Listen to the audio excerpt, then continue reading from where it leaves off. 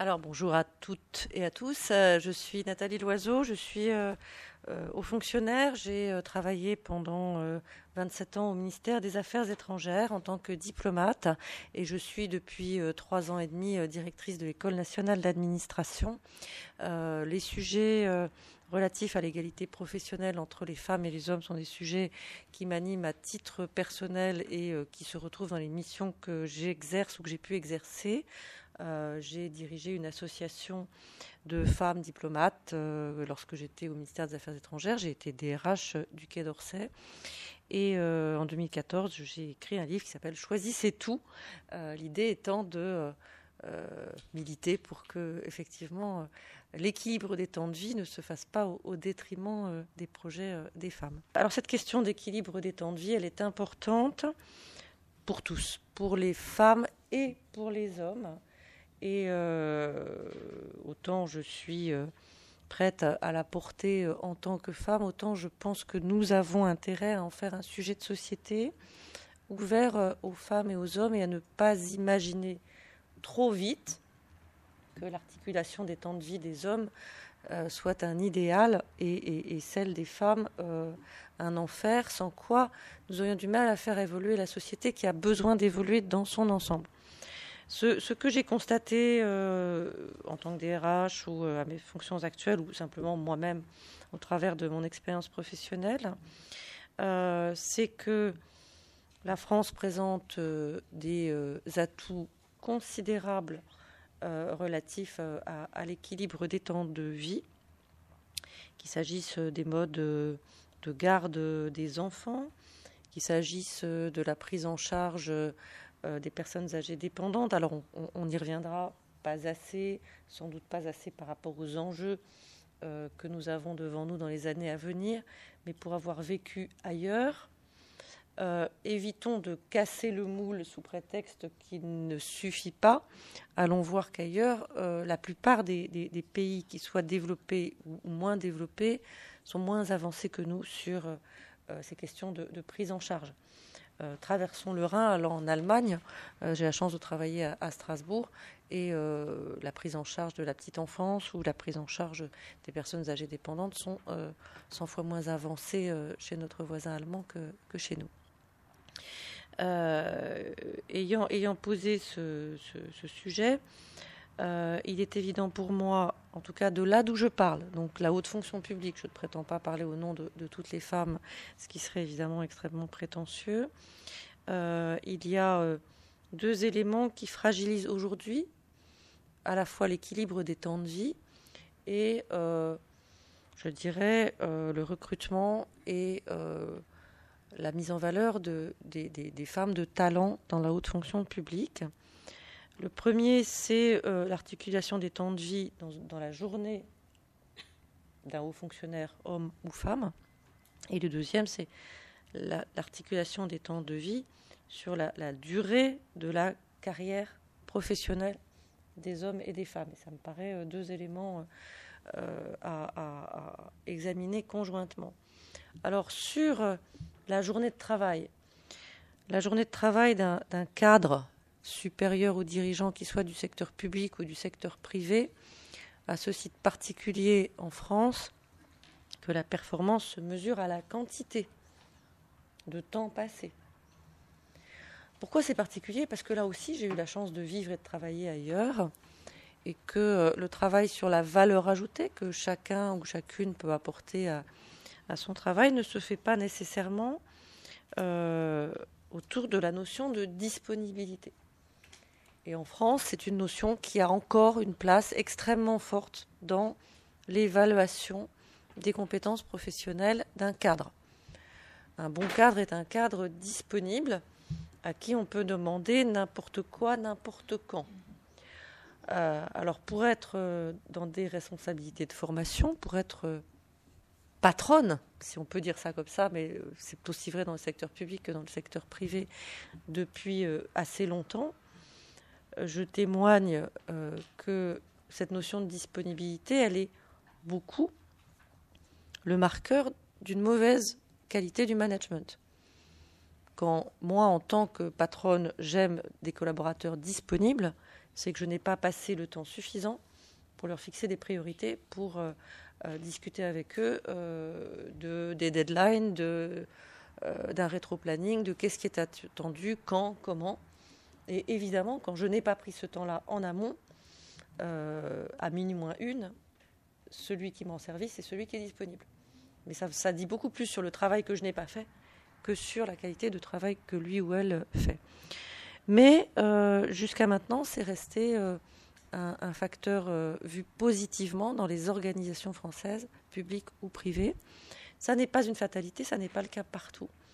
J'ai notamment vécu aux États-Unis, où la performance au travail est, est connu comme étant euh, attendu de, tous, et où euh, quelqu'un qui reste trop longtemps euh, sur ses activités professionnelles est vite vu comme quelqu'un de débordé, soit par la faute de l'organisation dans laquelle il se trouve, on lui a donné trop de choses, soit de par sa faute, il n'est pas au niveau.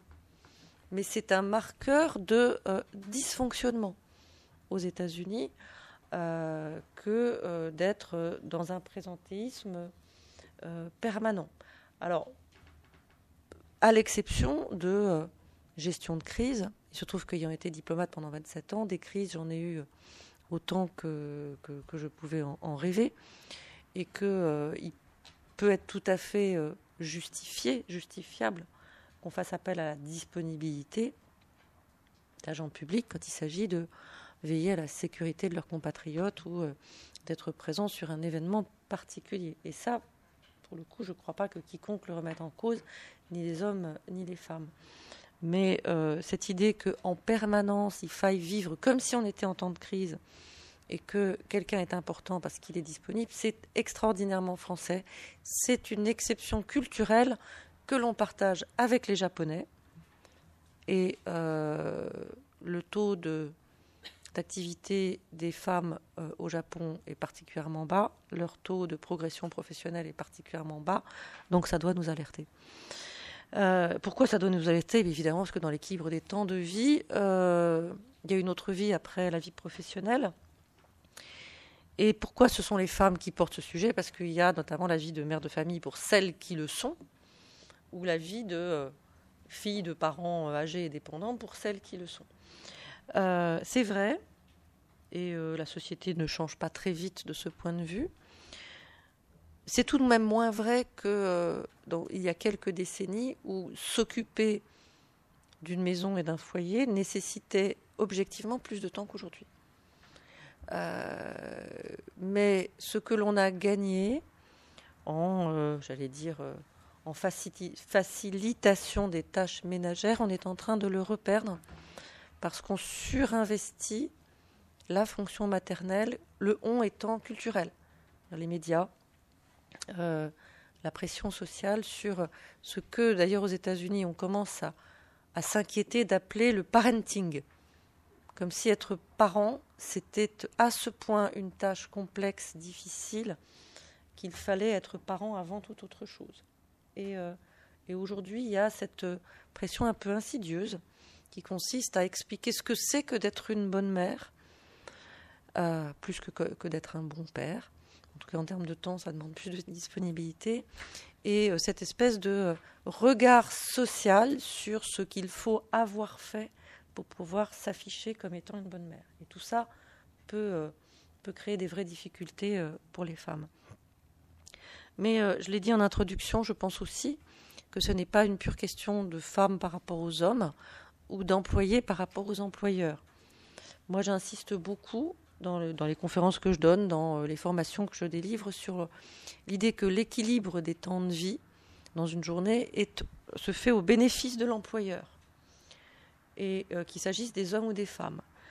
En tout cas, là encore, pour parler de ce que je connais, c'est-à-dire l'encadrement supérieur et dirigeant. On demande aujourd'hui des cadres qui soient inventifs, innovants, capable d'embrasser la complexité du monde dans lequel euh, nous évoluons et euh, de répondre à euh, des défis, à des enjeux qui ne ressemblent pas à ceux d'il y a quelques années. Il n'y a aucune possibilité d'être inventif et innovant si on reste dans l'entre-soi d'une journée professionnelle à rallonge avec ses collègues et ses collaborateurs. Si la performance se traduit par le nombre d'emails auxquels on a répondu dans une journée, il n'y a aucune place pour l'innovation, pour euh, l'appréhension de la diversité et de la complexité, qu'on soit un homme ou qu'on soit une femme. Euh, on en vient à une espèce de mécanisation des tâches les plus conceptuelles euh, qui ne répond pas aux besoins des employeurs d'aujourd'hui.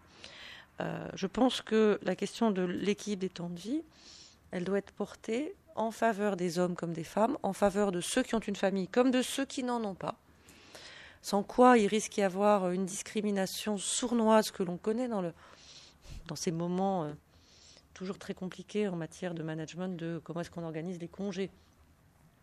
Si parce que vous n'avez pas d'enfants, vous passez toujours après ceux qui en ont, euh, est-ce que quelque part vous n'êtes pas victime d'une autre forme de, discrimination? Et en tant qu'employeur, je sais que j'ai besoin que euh, mes collaborateurs, que mes équipes, que mes élèves à l'ENA euh, se ressourcent différemment euh, dans leur vie personnelle, qui peut aussi être une vie associative, qui, doit être une vie en, prise avec la, société. Et s'agissant de l'encadrement supérieur et dirigeant, que ce soit pour les entreprises ou pour la fonction publique, on a besoin de gens qui restent en prise avec la société. Et c'est aussi ça, l'équilibre des temps de vie. Ça n'est pas seulement chercher les enfants à la crèche ou s'occuper de l'hospitalisation de son père ou de sa mère. C'est aussi ça, mais c'est un enjeu beaucoup plus vaste. Euh, il n'y a pas une entreprise de grande taille ou une, euh, institution publique qui peut faire l'économie de, ça aujourd'hui.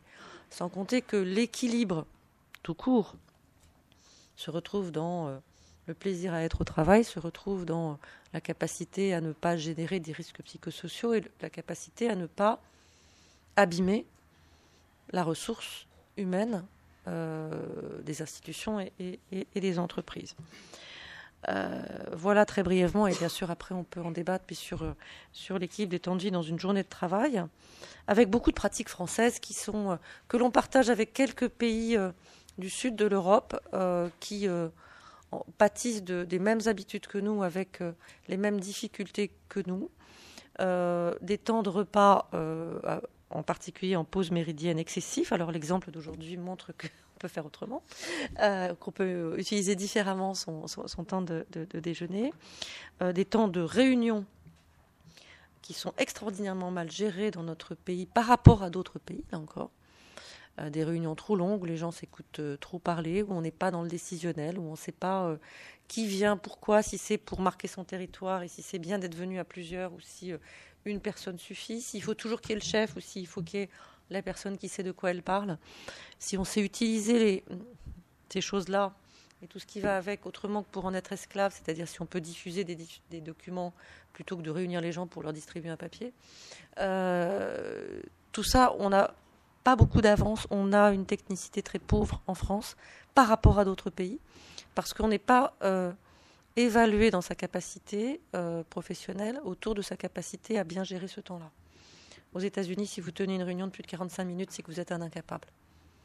Et que votre carrière professionnelle va commencer à en pâtir. En France, en dessous de 2h30, c'est que vous n'êtes pas sérieux. Donc, euh, ça ne fait pas les mêmes journées. C'est certain. Euh, temps de réunion, organisation du présentiel par rapport au distanciel. Pourquoi on est ensemble et qu'est-ce qu'on peut faire ailleurs que dans un lieu de travail? Ça, ça commence à évoluer un peu en entreprise. Il y a des entreprises qui se sont forcées à y réfléchir. En général, c'est les entreprises qui veulent attirer et garder la génération Y, qui a d'autres attentes et qui aussi apportent autre chose.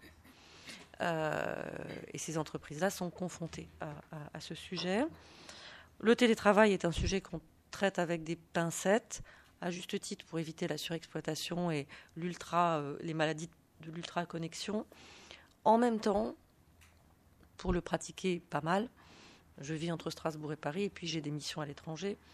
Donc j'ai besoin, moi, du télétravail, sans quoi l'alternative, c'est que je passerai tous mes week-ends au bureau. Donc en termes d'équilibre et temps de vie, je pense que ce serait sous-optimal. Euh, il faut encadrer les pratiques, mais il faut certainement pas considérer que le télétravail, c'est le diable a priori. Il faut surtout se forcer à la définition de ce que c'est que la performance attendue plutôt que euh, s'arc-bouter sur quel temps a-t-on passé à son travail, sans quoi on n'en sortira pas. Euh, je voulais aussi euh, parler de l'équilibre des temps de vie tout au long d'une carrière professionnelle. Et là, toujours en insistant sur d'où je parle, c'est-à-dire encadrement supérieur et dirigeant. Cette manie que l'on a d'identifier les hauts potentiels et de les faire fleurir à peu près entre 28 et 38 ans c'est-à-dire pour le coup une vraie discrimination s'agissant des femmes qui ont un projet euh, de maternité et qui le mènent à bien. On ne peut pas avoir le même euh, surengagement qui est demandé à haut potentiel si on a un projet de maternité et qu'on le mène à bien, ça n'a rien de scandaleux. Le problème, c'est que dans notre organisation actuelle, euh, les plats ne repassent pas forcément deux fois. Si vous ne vous êtes pas identifié comme un haut potentiel au moment où c'était prévu, on n'ira pas forcément vous rechercher après. Alors on pourrait considérer que c'est une fatalité, que c'est une inégalité de fait à laquelle on ne peut pas grand-chose. Ce sont les femmes qui sont enceintes et pas les hommes. Euh, sauf que là aussi, cette inégalité, euh, en tout cas cette vision, dessert aussi des hommes qui, pour une raison ou pour une autre, n'auront pas choisi d'être un haut potentiel à, à 30 ans et qui pourraient l'être plus tard, dans des carrières qui sont aujourd'hui des carrières extrêmement longues. Moi, ce que je vois beaucoup, c'est que euh, on est un haut potentiel jusqu'à 38 ans et on devient un senior à 40. C'est-à-dire, on devient presque surnuméraire juste après avoir été surexploité. De ce point de vue-là, et du point de vue de l'employeur, du côté duquel je me situe, il y a une un mauvais emploi de la ressource humaine.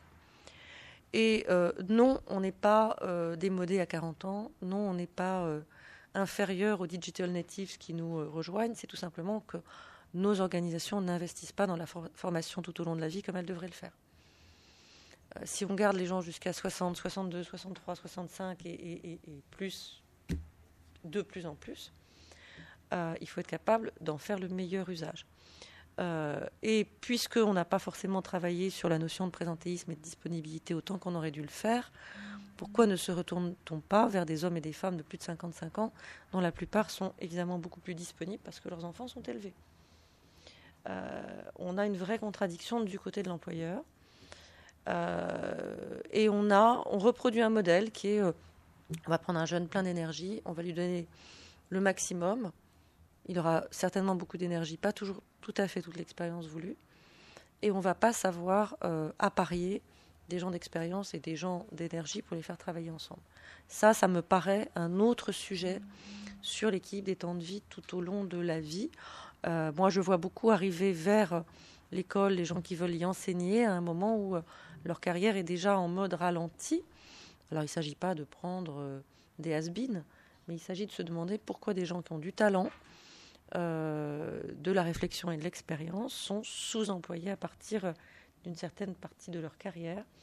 Je n'ai pas forcément toutes les réponses, mais je pense que c'est autant quelque chose sur quoi il faut qu'on soit euh, attentif. Voilà ce que je voulais peut-être dire en, propos liminaire, en étant évidemment euh, disponible pour vos questions. Merci beaucoup, Madame Loiseau. Donc, sans plus attendre, je vais passer la parole à Madame Aubin.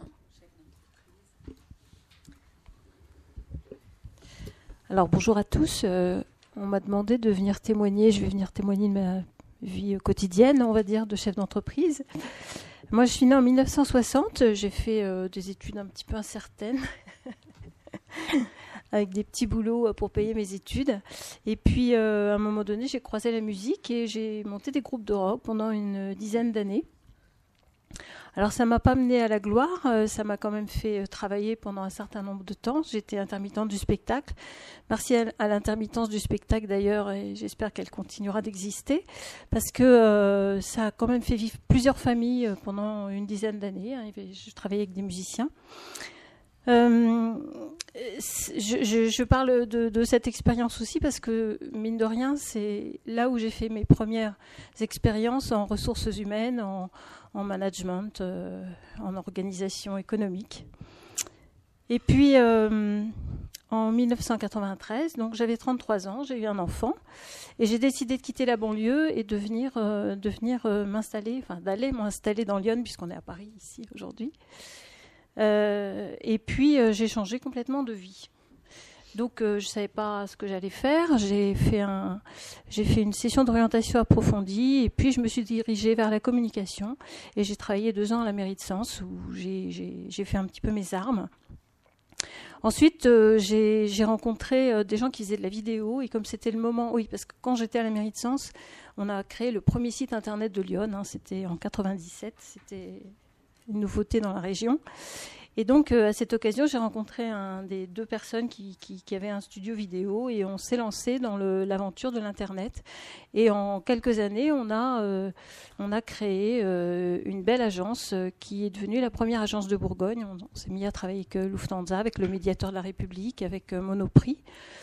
Et comme ça marchait bien, on s'est retrouvé à cinq associés. J'étais la seule, la seule femme et j'étais avec des, collègues euh, associés qui travaillaient énormément, énormément. Et moi, j'étais persuadée que euh, c'était pas en travaillant énormément qu'on allait, euh, qu'on allait euh, forcément réussir. C'était plutôt en se développant et en embauchant des gens et en apprenant ce métier de chef d'entreprise qu'on ne connaissait pas.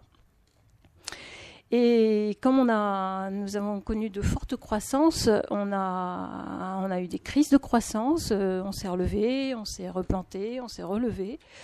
Et euh, j'étais un petit peu fatiguée au bout d'un certain nombre d'années, au bout d'une dizaine d'années. Et euh, j'ai revendu toutes mes parts un peu sur un coup de tête. Et puis, euh, je ne savais pas du tout ce que j'allais faire. J'avais, j'approchais la cinquantaine. On, parlait de la barrière de l'âge tout à l'heure. C'est vrai quand on est une femme. avec un, pas forcément ayant fait d'études et tout. Moi-même, je me demandais ce que j'allais devenir, mais j'avais été artiste, donc l'avenir me faisait pas peur.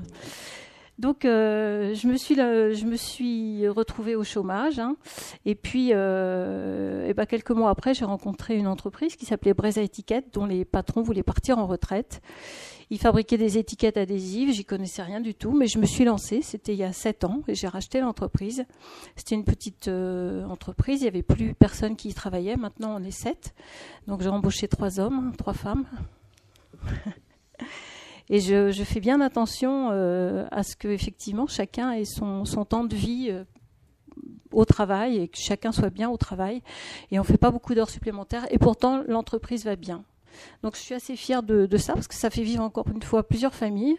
Et puis ça, fait vivre des gens qui sont bien en entreprise. Hein. On parle beaucoup de pénibilité au travail, mais je pense que c'est pas comme ça dans toutes les entreprises. C'est pas pénible partout.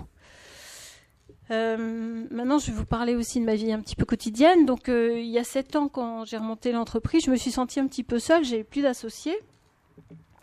Et je me suis dit qu'il fallait que je rencontre un petit peu des gens. Donc, euh, j'ai rencontré des réseaux, un Business Sense à, à Sens qui, qui est une émanation de la CCI de Lyon.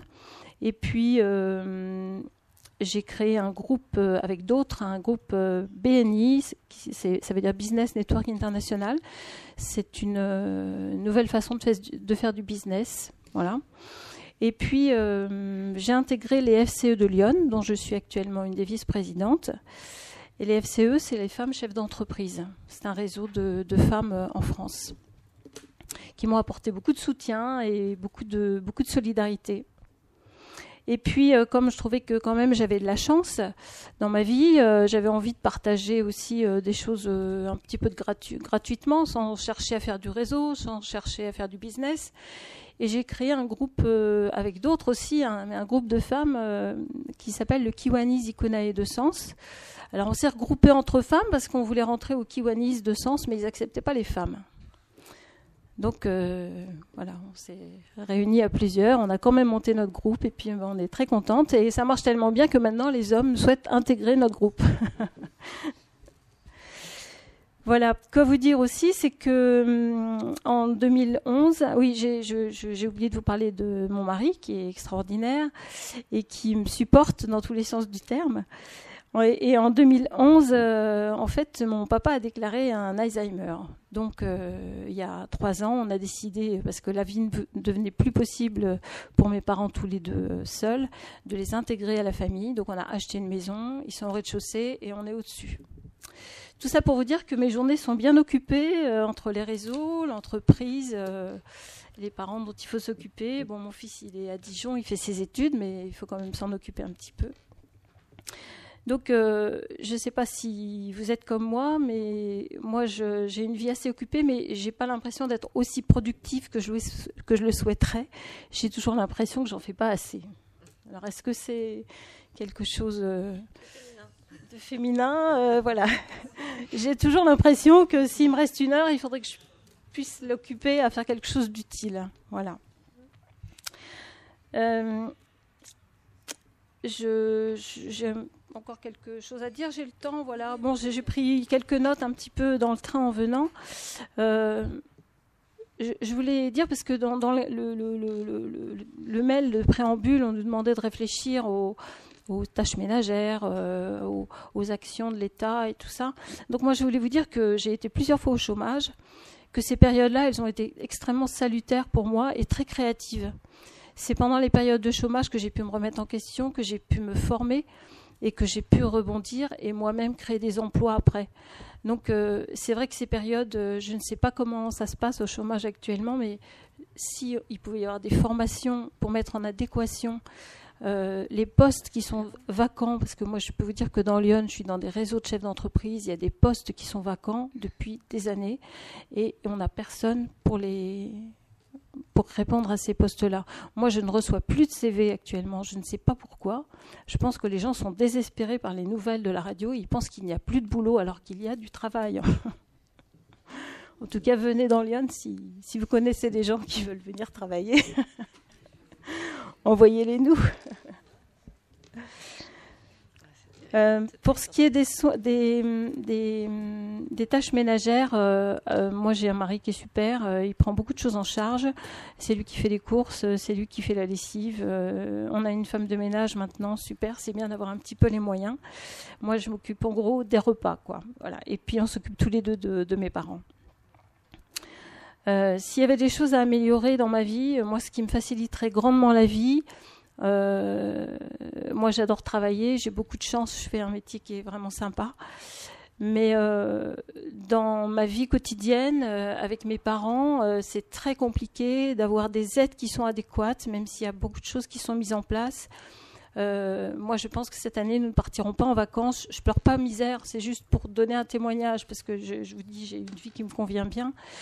Mais euh, il faudrait qu'on ait quelqu'un qui vienne plusieurs fois par jour, qui vienne s'occuper, être sûr qu'il y a des toilettes et tout ça. Et les gens qui viennent actuellement n'ont absolument pas le temps.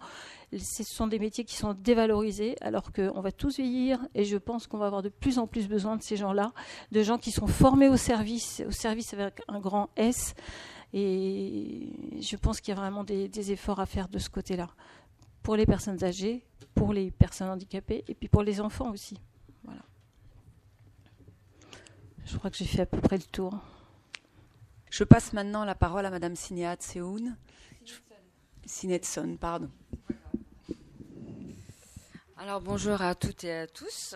Alors moi je viens d'un milieu beaucoup plus modeste. En fait, euh, je, je, viens de comment dire, ça fait 30 ans que je suis en France. Je suis venue, je suis arrivée en tant que réfugiée politique. Je viens d'une famille modeste. Hein. Euh, avec le recul, je me dis que j'aurais dû écouter plus sérieusement les conseils de mes, de mes parents, être plus assidue à l'école. Donc, euh, ce qui fait que j'ai enchaîné les petits boulots, etc. Là, ça fait 11 ans que je travaille dans une société d'études. 11 ans de contrat CDD, c'est un contrat à durée déterminée d'usage, c'est-à-dire que je signe des contrats à chaque fois que j'ai une mission, tous les jours, voire une fois tous les semaines. Donc, euh, depuis peu, j'ai dû entamer une action en justice pour avoir un CDI, en fait. Donc depuis 11 ans que je travaille euh, dans mon entreprise, je me suis toujours refusée à, avoir un enfant en fait, à avoir à construire une vie de famille parce que vivre avec ce genre de contrat, vivre euh, au jour au jour, le jour au jour avec un comment dire une épée de Damoclès, euh, on peut rien construire quoi. Donc voilà, mon, contrat d'usage en fait, c'est ça veut dire précarité les horaires atypiques, un coup euh, c'est 7 heures du matin. Enfin, on peut pas, on peut pas faire son planning en fait, euh, faire de prévisions à long terme avec euh, ce genre de contrat. même au niveau de la vie tout court, on peut rien programmer. Donc, quoi dire d'autre Là, vu que je suis récemment maman, puisque je suis en CDI depuis un mois, je suis maman d'un enfant de 3 mois Depuis que je suis mère, il y a des problèmes que je ne pensais pas en fait euh, avoir, euh, avoir à faire. pour moi, c'était il fallait un CDI, il fallait un travail stable pour pouvoir construire une famille, élever correctement un enfant. Mais il s'avère que maintenant, je bute avec d'autres problèmes, tels que les problèmes de garde, les problèmes au niveau du travail. Il y a des jours où je, suis obligée de me lever à 5 heures du matin pour aller travailler et je rentre chez moi à 15 heures, ou alors euh, je pars de chez moi à 20 heures, euh, pardon, à midi et je rentre chez moi à 20, 21 heures, 22 heures. J'ai vraiment des horaires vraiment euh, atypiques. Et là, je me dis qu'au niveau, j'ai été me renseigner auprès de mon employeur et il s'avère que pour à peu près 1000 employés, 1000 salariés, pardon, il y ait trois places, de crèche. Alors je me dis autant ne pas cotiser du tout pour une place d'entreprise si c'est pour juste avoir trois, places en fait. Donc il y a ça, il y a au niveau euh, problématique, euh, au niveau de la mairie, les crèches, euh, crèches collectives. On me dit que j'ai pas une place avant 2018, voire 2019. J'ai répondu à la mairie, autant ne rien me proposer parce que mon enfant aura l'âge d'aller à la maternelle. Donc là, on me dirige vers un système d'assistante maternelle, ce qui représente un coût. Actuellement, je me pose la question est-ce que est-ce que ça vaut la peine que je continue à m'investir dans mon travail? Parce qu'en dehors d'être salarié, je suis aussi investie dans tout ce qui est domaine syndical, etc. Je me dis, est-ce que j'arrête tout, je mets euh, ma carrière de côté, tout ce que j'aime faire de côté, pour élever dans, de bonnes conditions mon enfant et euh, voilà, c'est en ce moment, je suis là, j'ai une solution pour, pour l'instant, un pansement, c'est pas une solution, c'est plutôt un pansement. C'est euh, la grand-mère de mon ami qui garde mon fils, mais la grand-mère, elle, a 74 ans, donc, je veux pas non plus que ce soit une solution pérenne, parce que la pauvre, je l'enterrer plus vite que prévu, sinon. Et euh, donc voilà, je, parle moins bien que vous, mais euh, en tant que simple employé, je me dis, mais euh, comment faire? Je, suis totalement dans le brouillard actuellement. Je ne pensais pas avoir autant de, stress, de, tracas. Et vu qu'on veut tout le temps bien faire, je ne pensais pas avoir cet instinct maternel, mais depuis que j'ai mon enfant, je veux bien faire pour lui. Mais euh, là, je vis, je vis actuellement dans le doute. Je me suis dit déjà, j'ai gagné un combat, c'est celle d'avoir un, un, CDI de droit commun et avoir un, emploi stable. Et là, je me dis, faut, maintenant que je suis mère, je me rends compte que c'est vraiment un autre combat, une autre, euh, une autre vision. Il faut que je, je enfin voilà, je suis un peu, euh, un peu dans l'émotion là parce que ce qui est bien dans cette, euh, dans cette réunion, c'est que ça, fait, ça nous pousse à faire un travail sur soi-même, à se poser des questions que avant aujourd'hui je ne me posais pas vraiment.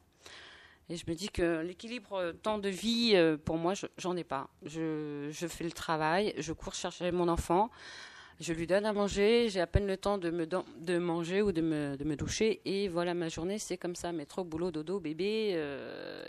L'équilibre, j'en ai plus. Euh, alors que ma passion, c'est la peinture, euh, la pêche, les jeux d'échecs. Enfin, j'étais quand même plutôt. Euh, mais voilà, je suis plus de. Je ne vis plus, je survis en ce moment et c'est assez, c'est assez difficile et voilà. Donc peut-être que j'ai oublié de, plein de choses. Je voulais, je voulais, mais. Donc voilà, bah, peut-être que vous avez des questions plus tard, mais je voilà. Merci. Merci. beaucoup. Je cède maintenant la parole à Madame Christine Carlier. Donc donc bonjour à tous. Euh, donc moi, euh, voilà, j'ai 40 ans, enfin un peu plus, 43 même. Euh, d'origine, je suis assistante socio-éducative, donc éducatrice spécialisée en foyer pour enfants placés par la justice. Ce, qui, ce qui a entraîné, donc j'ai exercé ce métier-là pendant 18 ans, en horaire décalé, jour, nuit, matin, après-midi, soir pas de vacances, euh, voilà, les, les, vacances avec les enfants. C'est un métier que j'ai choisi, donc euh, dans lequel je me suis investi, euh, investi pleinement, et d'autant que petit point retour sur mon enfance, moi je fais partie d'une famille où la culture travail est fort développée. Avec une notion où je suis la seule femme de ma génération, puisque j'ai deux frères et trois cousins, et que du coup portait sur moi la responsabilité de la réussite féminine euh, j'étais la seule enfant qui avait fait, euh, à qui on a poussé à faire des études. Et, donc, on m'a toujours expliqué, euh, en étant petite, qu'une femme, ça devait être une bonne maman, une bonne mère de famille, une bonne ménagère et en plus une bonne salariée. Donc, je vous raconte pas le. voilà, comme ça, je cerne d'emblée. Et j'avais ma maman qui effectivement travaillé, qui a eu, qui moi m'a eu très tard, hein, puisqu'elle avait passé 40 ans quand elle m'a eu. Elle avait élevé donc mes deux frères avant moi, et elle m'a élevé, elle tenait la maison. et elle continuait à travailler malgré cela. en plus, on n'était pas aux 35 heures. Voilà, donc j'ai été élevée là-dedans et du coup, ben, moi, quand j'ai commencé à travailler, j'ai fait pareil. Et puis, euh, investi dans un métier que j'avais, choisi. Et euh, pour revenir à ce que Madame Loiseau disait, en plus, quand on commence et qu'on est une femme sans enfant et qu'on travaille en internat, et eh ben, les permanences, euh, le mercredi, c'est là où il y a le moins de salariés parce que je travaille dans une entreprise où on a réussi euh, à valoriser euh, le 80%. Je suis fonctionnaire. Hein. Je suis fonctionnaire hospitalière et du coup, moi, on avait beaucoup de salariés, hommes ou femmes, qui prenaient le, mercredi. Donc forcément, vous, bah, vous, vous récoltez en tant que jeune salarié euh, sans enfants les mercredis, les vendredis soirs, les samedis, les dimanches, les jours de Noël, les jours de Nouvel An. quand il faut faire un camp, c'est sur vous que ça tombe. Enfin voilà. Et à cette époque-là, c'est là où moi je mets un peu en garde parce qu'à cette époque-là, moi c'était mon trip, quoi. Ça me, ça me dérangeait pas. Euh, parce qu'effectivement, quand on rentre à la maison, moi j'avais plein de temps pour moi. Quand on est en horaire décalé, l'avantage quand on est jeune salarié, c'est que bah, je faisais du sport, je suis passionné de travaux manuels, j'ai toujours eu des engagements associatifs et politiques, et du coup, bah, j'avais euh, plein de temps pour moi. Et puis après, euh, un jour, la vie vous rattrape, et puis vous fondez une famille. Alors moi, j'ai particularité, c'est que j'élève les enfants de mon concubin. Hein, puisque moi j'avais fait le choix de pas avoir d'enfants, mais voilà, donc euh, et vous vous retrouvez du jour au lendemain avec euh, une famille, des enfants. Euh, et puis là, vous vous dites comment je fais, parce que j'aimerais bien continuer à faire tout ce que je fais. Et puis, eh ben, y a, voilà, ça vous rattrape avec, comme Sinit, des problèmes de, de, garde. Donc, vous avez fait, là, vous faites 36-15 code mamie pour récupérer vos enfants à l'école parce que forcément quand vous, finissez à 22h, eux ils ont fini à 4h30, puis votre conjoint il travaille aussi. Et donc voilà, donc là vous apprenez euh, les plannings partagés sur les frigos.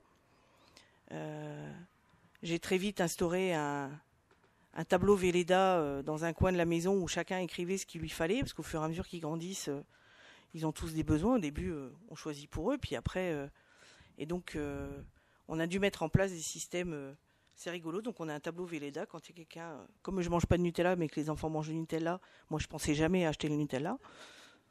Et donc vous êtes attrapé parce que vous avez oublié d'acheter le Nutella. Donc j'étais. Euh, voilà, donc on, a mis en place un système de, de tableaux, hein, la consommation de post-it sur le frigidaire ou sur la table, je vous l'évite parce que forcément quand vous, vous partez au boulot à 6 h du matin, personne n'est levé. Quand vous rentrez à 14h, il s'est passé quelque chose dans la journée, c'est le petit déjeuner de tout le monde.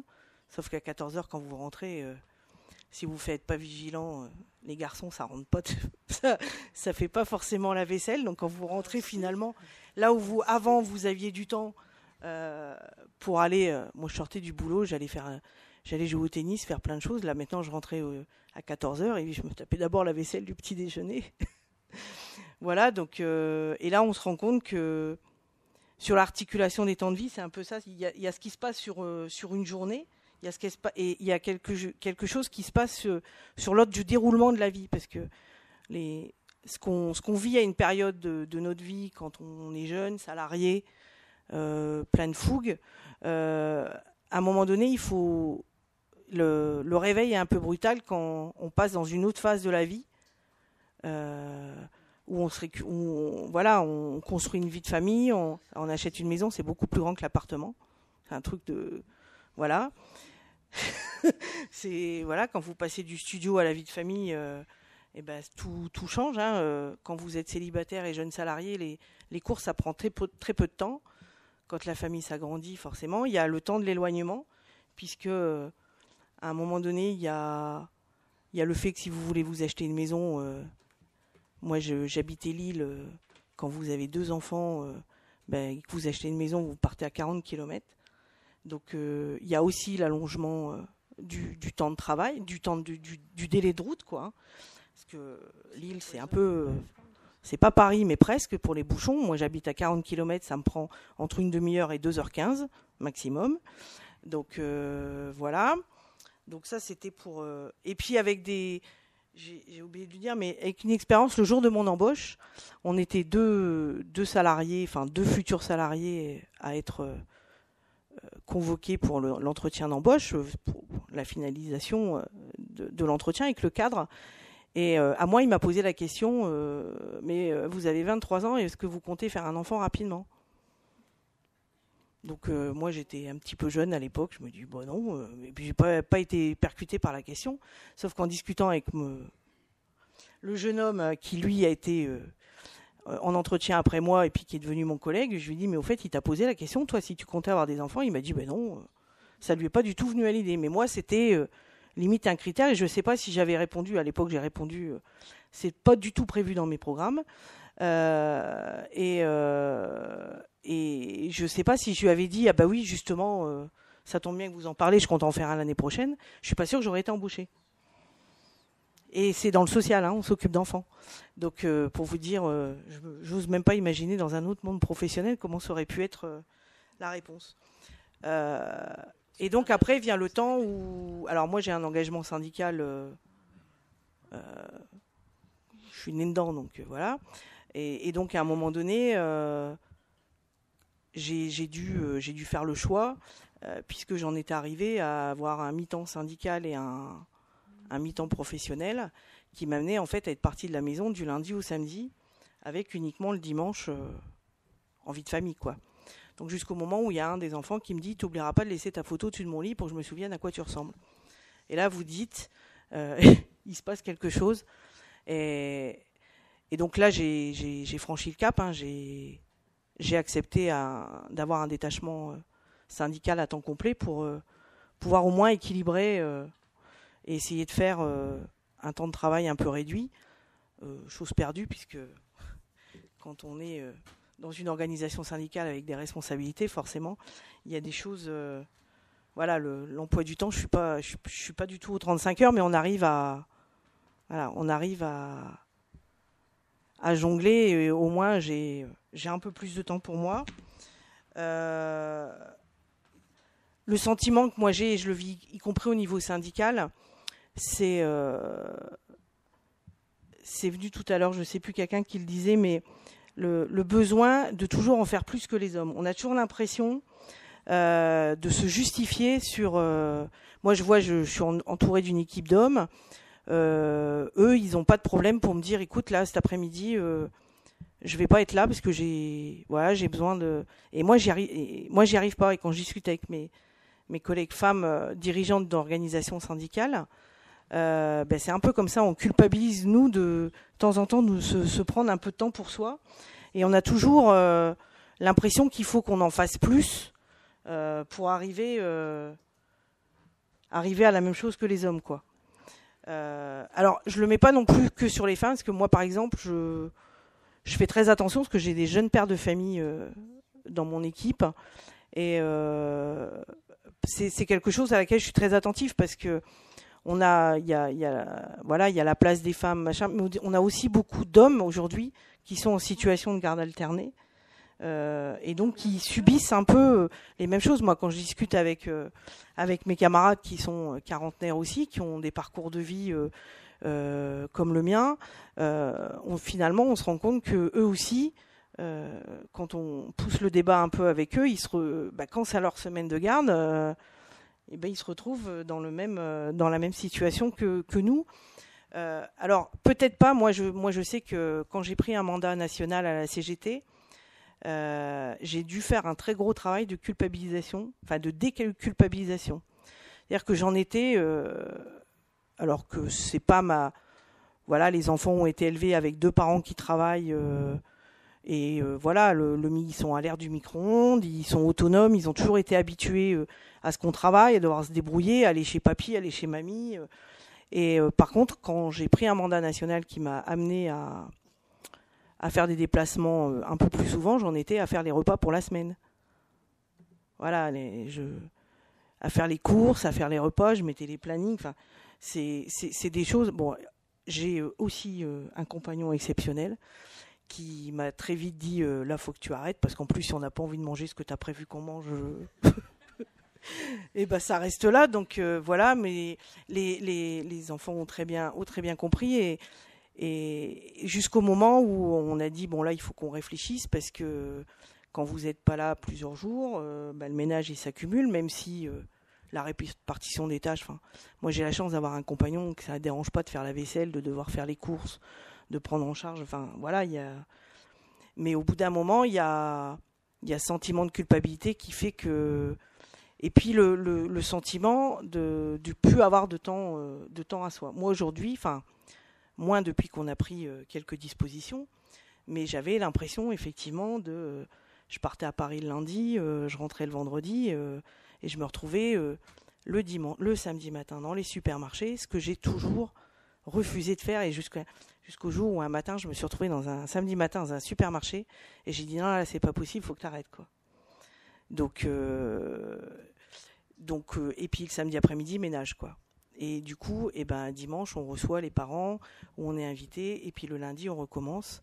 Et puis le sentiment de que ce qu'on m'avait dit de il faut que faut la, le travail, c'est une forme d'émancipation parce que ça permet euh, l'autonomie de la femme aussi. Enfin, moi, j'étais j'étais élevée là-dedans, c'est-à-dire que ma grand-mère travaillait pas, ma mère a fait un point d'honneur à travailler contre la vie de ses parents parce que pour elle, c'était une forme d'autonomie et, de pas devoir dépendre de l'autre. Et du coup, moi, je, alors effectivement, financièrement, je dépendais pas de mon compagnon, mais euh, mon travail me rendait plus esclave que que libérée, quoi, à la fin.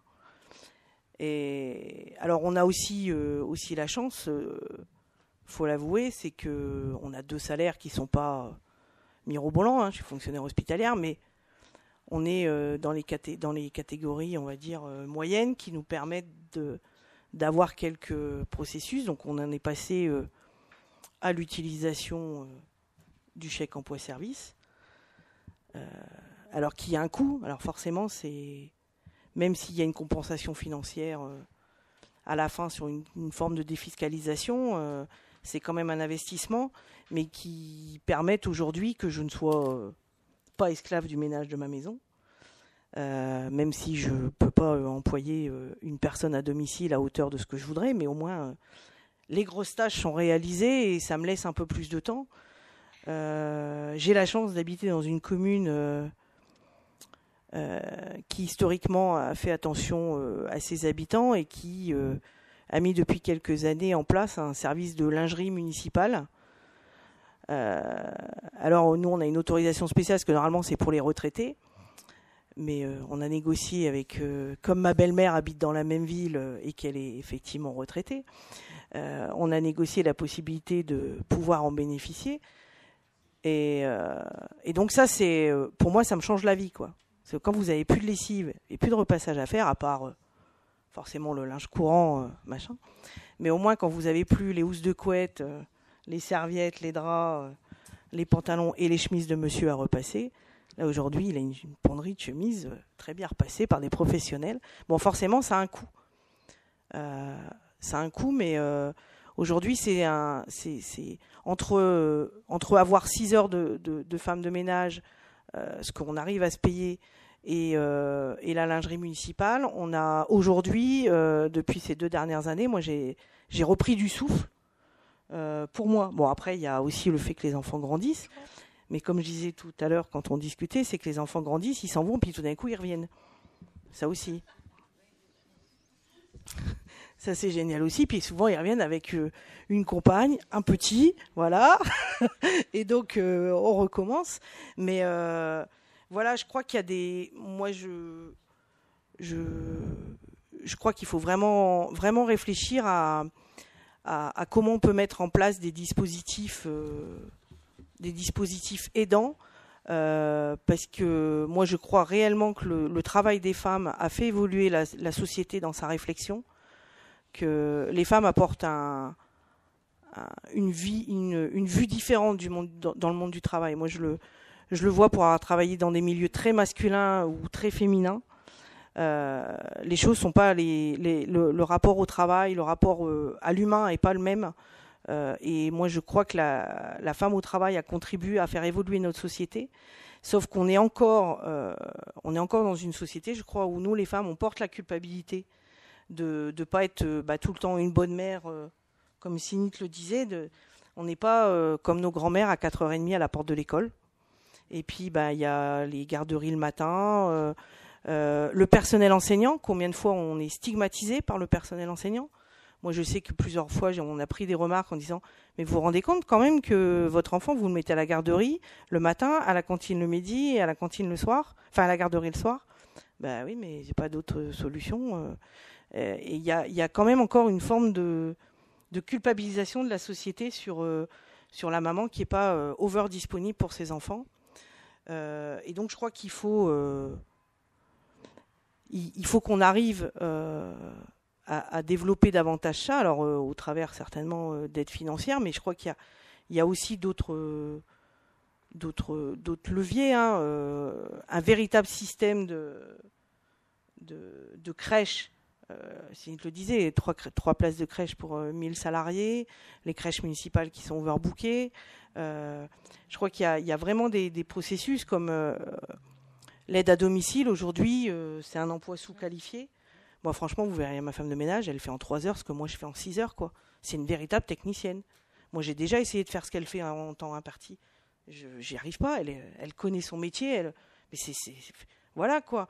Et aujourd'hui, elles sont. Euh, alors, euh, moi, je vois bien les sociétés euh, nettoyage. Enfin, faut voir les conditions de travail dans lesquelles ils vivent, les horaires qu'ils ont aussi, parce que forcément, moi, je sais, dans l'union locale que je dirige, on a personnel de nettoyage, ils arrivent le soir quand nous on s'en va, quoi. Donc euh, c'est des horaires aussi, et du coup ça retombe sur elles, leur temps de vie aussi.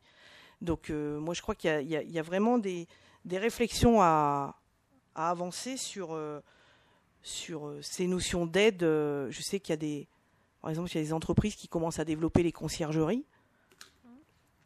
Et pour avoir rencontré quelques salariés, c'est vrai que après ça pose la question du statut de salarié de la conciergerie, par exemple. Mais, euh, mais je sais que c'est une véritable aide, quoi, de pouvoir euh, avoir quelqu'un qui, qui, supplée à quelques tâches comme ça pendant notre temps de travail. Ça aussi euh, nous enlève le, le, temps le soir, quoi. Et de pouvoir profiter et de notre famille et de. Et pour finir, un autre point, c'est que c'est déjà venu aussi, c'est que la prise en charge des ascendants finalement, elle revient également sur la femme. Moi, je vois, j'ai la chance d'avoir encore ma maman qui a 86 ans, qui est autonome. Euh, mais j'ai deux frères. Euh, j'ai deux frères. C'est toujours chez moi qu'elle vient passer le week-end, rarement chez mes frères. Pourtant, ils l'adorent, ils prennent des nouvelles, mais voilà, elle est plus proche de sa fille. Et on a la chance qu'elle soit largement autonome et tout ça, mais il y a toujours ce sentiment où c'est plus nous qui nous en occupons. Et j'ai la chance d'avoir aussi mes beaux-parents et je vois ma belle-mère, c'est moi qui l'appelle c'est pas son fils qu'elle adore euh, par là même et qui et qui s'en occupe bien. Mais alors ils sont pas, ils ont pas besoin de dépendance, dépendance. Mais euh, bah, comme toute personne vieillissant, euh, il y a des rendez-vous à l'hôpital et choses comme ça. Et naturellement, c'est vers la femme souvent qu'on qu'on se, enfin que les les parents se, se reportent plus facilement sur sur la femme dans l'accompagnement que que sur l'homme quoi. Et donc du coup, ça pose des problèmes. Moi, je je connais aussi des gens qui, qui ont dû accueillir leurs parents euh, chez eux et, et du coup, euh, bah, la vie, elle reprend un cours. quoi. C'est qu'une fois qu'on a l'impression que on est un peu libéré, qu'on va avoir du temps pour soi parce que les enfants sont partis, finalement, il y a une, autre, nouvelle vie et qui est nouvelle en plus, je crois. C'est qu'il y a 10 ans ou 15 ans, on se posait peut-être pas cette question-là, mais aujourd'hui, on, c'est quelque chose qui, qui va percuter la société de demain et qu'il faut réussir à, à prendre en compte, quoi. Merci beaucoup. Donc, euh, nous continuerons tout à l'heure. Euh, maintenant, place à l'artisanat avec euh, Catherine Fouché. bonjour à toutes et à tous. Alors, j'ai eu deux temps de parcours dans ma vie, c'est-à-dire qu'au départ, de 20 ans à 30 ans, j'étais dans les grandes entreprises au niveau de, du travail professionnellement. J'ai eu un premier couple, donc un premier mari avec un premier enfant. Et donc là, j'ai vu euh, ce temps de vie euh, consacré à mon travail, ce poste de travail de salarié, avec un enfant, donc avec tout ce que ça peut comporter qui a été dit, c'est-à-dire qu'il fallait que je, parte très tôt pour pas être dans les embouteillages parce que j'étais sur Paris.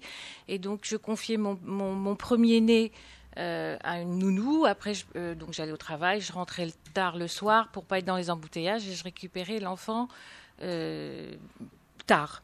Donc là, j'en reviens à ce qui a été dit, c'est-à-dire qu'il a fallu absolument que je trouve des assistantes maternelles. Donc, ok, ça a été bon, sauf par rapport aux horaires. C'est-à-dire que quand on a des horaires atypiques au niveau des assistantes maternelles, ça ne fonctionne pas. Donc ça, c'était mon premier temps de parcours. Deuxième temps de parcours, suite à un divorce. Euh, deuxième mari avec l'artisanat qui arrive dans mon, dans mon temps de vie. Et là, je découvre tout un autre univers D'autant qu'en plus, j'ai eu euh, trois enfants d'un seul coup, donc j'ai eu des triplés. Donc du coup, du coup, tout a basculé. Alors, je tiens à le dire, c'est une petite anecdote parce que je suis contente à chaque fois, parce qu'à chaque fois, vous, tout le monde dit Oh, super, parce que c'est vrai que c'était extrêmement dur. Donc, euh, voilà. Donc, merci, mesdames, de dire que c'est bien. donc, du coup, la vie a basculé. et euh, donc, je me suis retrouvée dans un autre univers qui est l'artisanat. Et donc, euh, TPE, plus du tout les grandes entreprises. Euh, co-gérante d'une entreprise artisanale, donc dans un univers de proximité. En plus, on a basculé sur la campagne puisqu'on a quitté la région parisienne parce que tout était tellement cher. Donc, on a évoqué ici euh, la priorité de la finance qui permet peut-être d'améliorer certaines choses. Effectivement, la campagne c'est un peu moins cher, donc on s'y est retrouvé. Alors, par rapport à l'articulation de ce temps de vie de maman de grande famille, euh, c'était pas facile parce que donc il y avait quatre enfants. Euh, et en plus, on a déménagé sur un, un, territoire où il n'y avait absolument pas de famille, donc je me suis appuyée exclusivement sur ce que me proposait la commune, le département, etc., au niveau de la crèche, au niveau des garderies, au niveau des temps de loisirs, etc. Et ça, ça a été euh, déterminant par rapport à mon parcours en tant que femme. C'est-à-dire que je voulais, et ça c'est un choix, être mère d'une grande famille, et donc ça tombait bien parce que j'ai eu des triplés, mais en même temps je voulais être quelqu'un d'engagé, de militante, parce que je me demandais comment ça se faisait que les femmes faisaient euh, deux journées dans une, etc. Et ça, ça m'avait toujours euh, surpris. Et quand je suis arrivée dans l'artisanat, c'est vrai que c'est un une profession atypique, enfin un secteur d'activité atypique, c'est-à-dire qu'on est le site professionnel en général et sur le site privé, ce qui permet pour une maman euh, d'être dégagée entre guillemets de ce parcours pour euh, aller à la crèche, euh, récupérer des enfants à l'école, etc. Parce que tout est en proximité. Et vous, alors, je parle autant au niveau des artisans qu'au niveau des commerçants. C'est-à-dire, commerçant, on peut être esclave des horaires de son commerce, mais on sait que les enfants sont juste à côté. Donc ça, c'est une richesse au niveau de l'artisanat parce qu'on peut maîtriser ça. Voilà. Et ça nous peut nous faire dégager du temps pour autre chose. Par contre, euh, ce qui a été dit avant aussi, c'est que les jeunes enfants, qui les a gérés, c'est moi, c'est-à-dire en tant que maman euh, exclusive. Et j'ai soufflé, euh, vraiment soufflé, quand euh, la petite école du village a pris mes triplés à l'âge de même pas deux ans. Ils n'avaient pas encore deux ans. Et là, c'est vrai que c'était extraordinaire parce que du coup, euh, voilà, quelqu'un pouvait me prendre ses enfants. Alors tout ça pour dire que les maris peut-être euh, ne s'occupent pas forcément euh, des jeunes enfants, mais en plus dans l'artisanat, ils ont le métier entre les mains, c'est eux les chefs d'entreprise, et donc ils sont à la production, et donc ils ne s'occupent pas forcément des jeunes enfants. Et euh, parce qu'ils sont sur les chantiers, ils, sont, ils, font, ils mènent l'entreprise en tant que chef d'entreprise pour faire vivre la famille.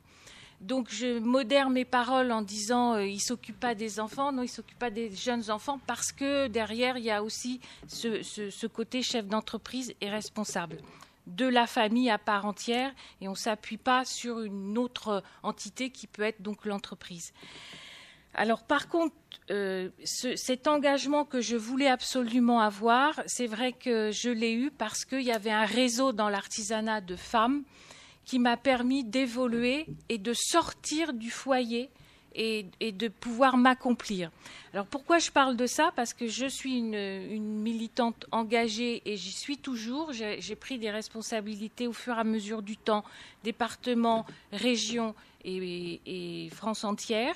Et du coup, euh, en m'appuyant sur ces réseaux qui étaient très, on va dire, à l'écoute des femmes, Et ça, je tiens à le dire aussi parce que quand on est compris tout de suite par rapport euh, à ce que vous dites, même avec des mots très simples et de, ce qui nous arrive comme madame, où vous dites mais qu'est-ce qui m'arrive? Et si la personne en face de vous qui vous écoute déjà ne comprend même pas ce que vous dites avec des mots très simples, parce que vous ne savez pas comment vous exprimer, euh, on perd énormément de temps et on peut même perdre beaucoup de courage.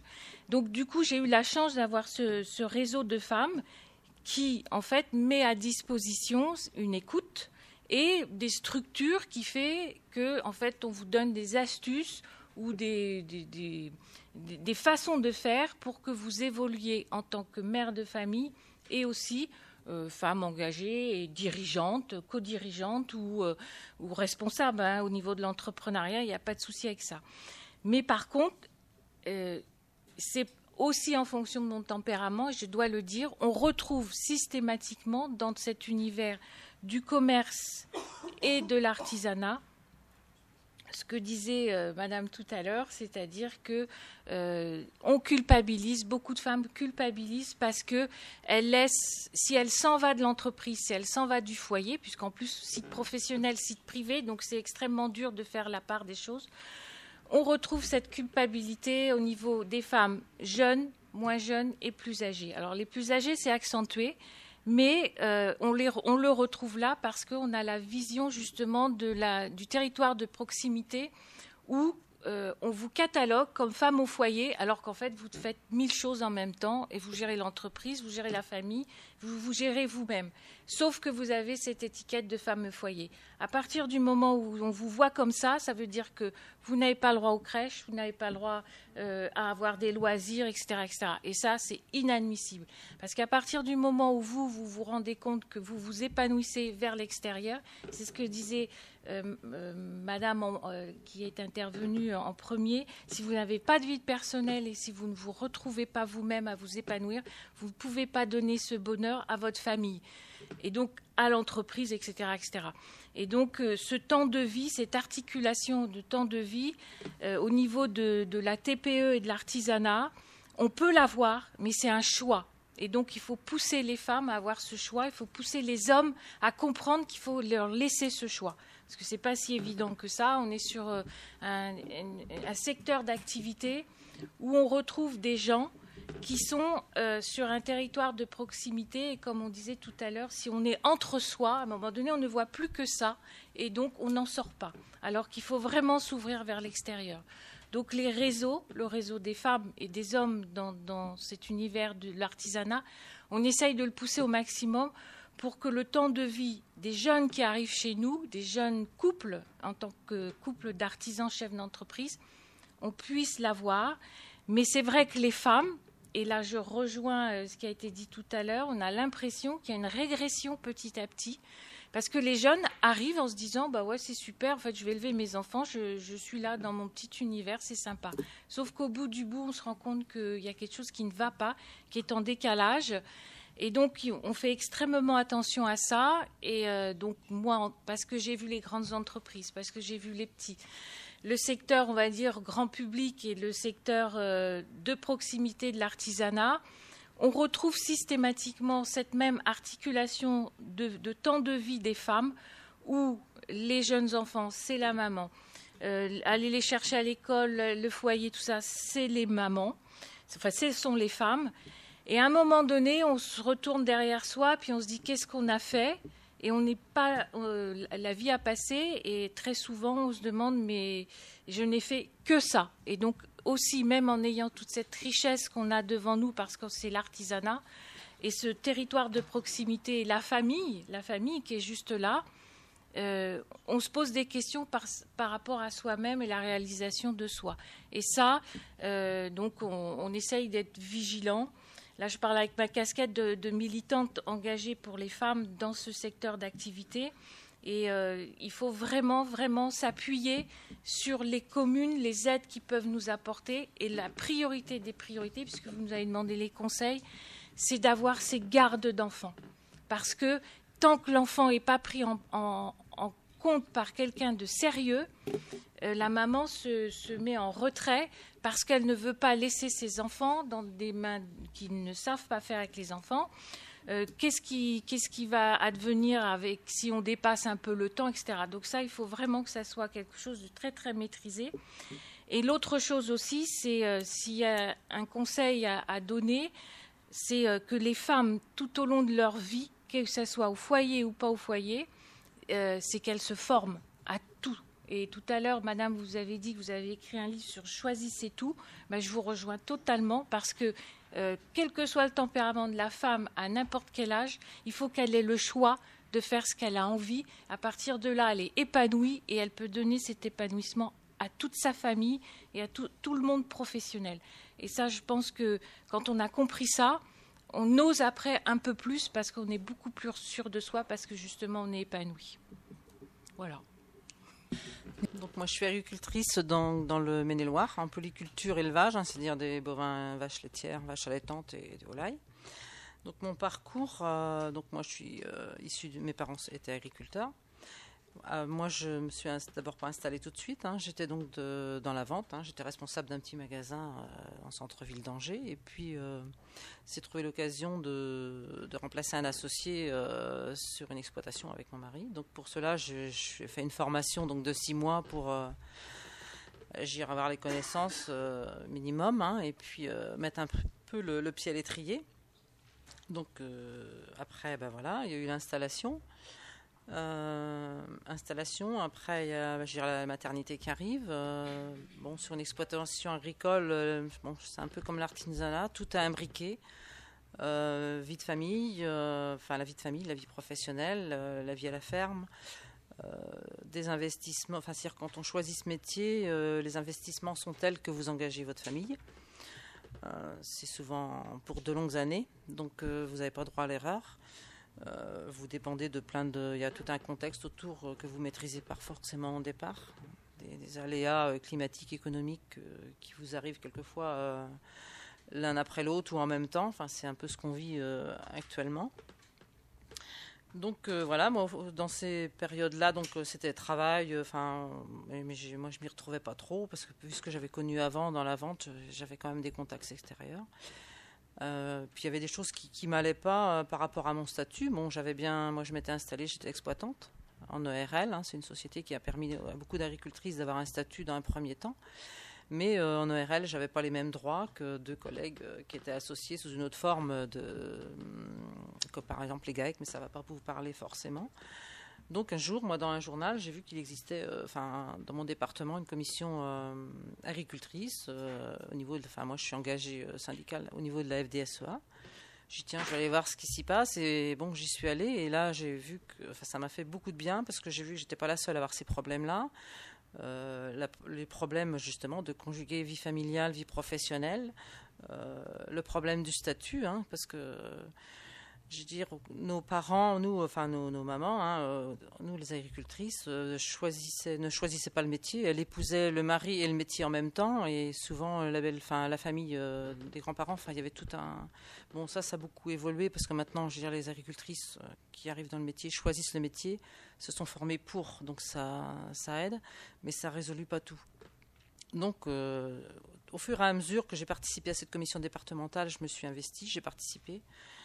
Euh, j'ai fini par être présidente et euh, après j'ai évolué euh, donc au niveau de la FNSEA. Moi j'ai un mandat national au niveau, je suis au bureau de la FNSEA et donc j'ai plus en charge les, je représente les agricultrices au niveau de la FNSEA et dans d'autres, j'ai d'autres rôles au niveau de la FNSEA.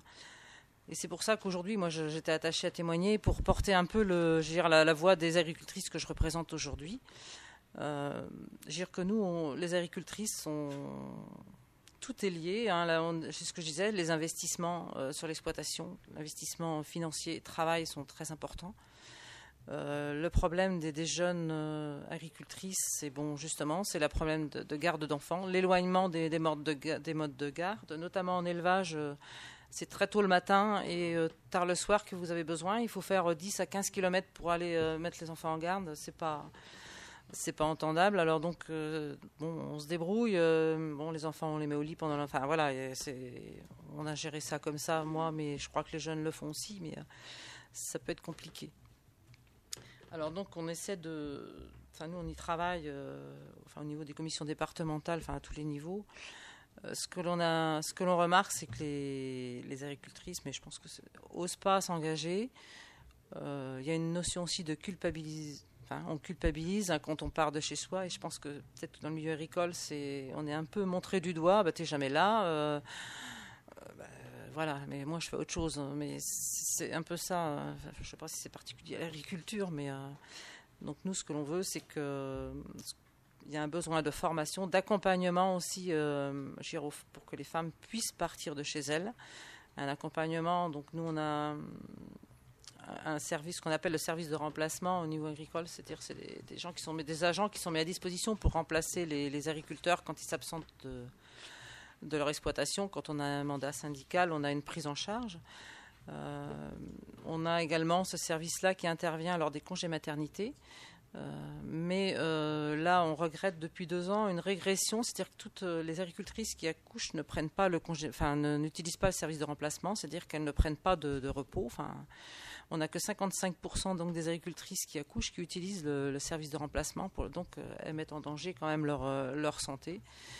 Euh, parce qu'il y a un coût qui reste à charge et puis pas l'habitude aussi de, se faire remplacer, d'avoir du personnel à gérer, ou de déléguer certaines tâches.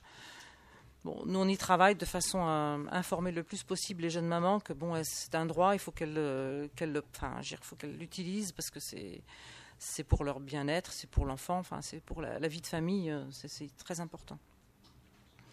Donc nous, ce qu'on, enfin, nous, ce qu'on, enfin, je rejoins le besoin de formation tout au long de notre, euh, de notre vie, on a besoin et c'est, euh, ça contribue aussi à l'épanouissement, hein, de se retrouver. Nous, on fonctionne aussi en réseau, en groupe, d'agricultrices.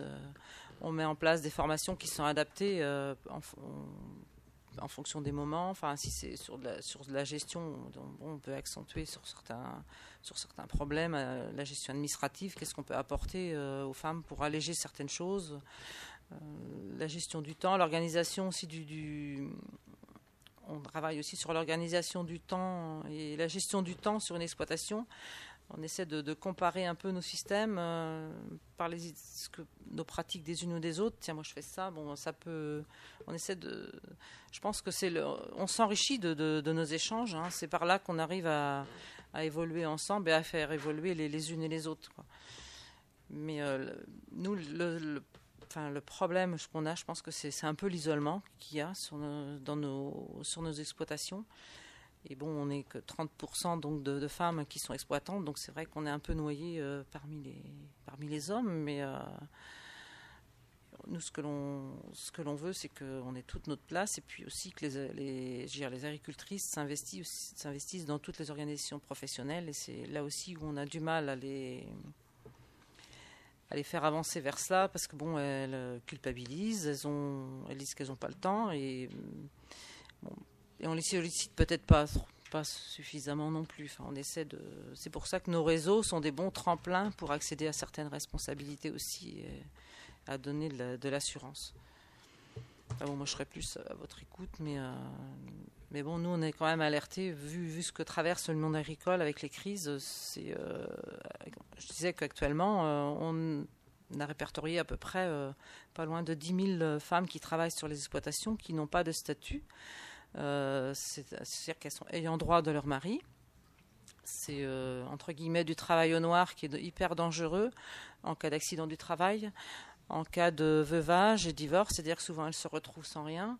Euh, souvent c'est le patrimoine du mari, donc tout est à lui. bon, elle n'a plus qu'à faire sa valise. enfin, il y a des choses, sur le terrain qui sont catastrophiques quand même. Et donc c'est pour ça qu'on essaie de, nous, on intervient euh, pour les conseiller sur le, par exemple, le statut, les régimes matrimoniaux. Enfin, il y a tout un tas de choses où on a besoin, les femmes ont besoin d'être informées sur les risques et les choix à un moment donné qu'il faut faire. Voilà, c'est tout. Merci.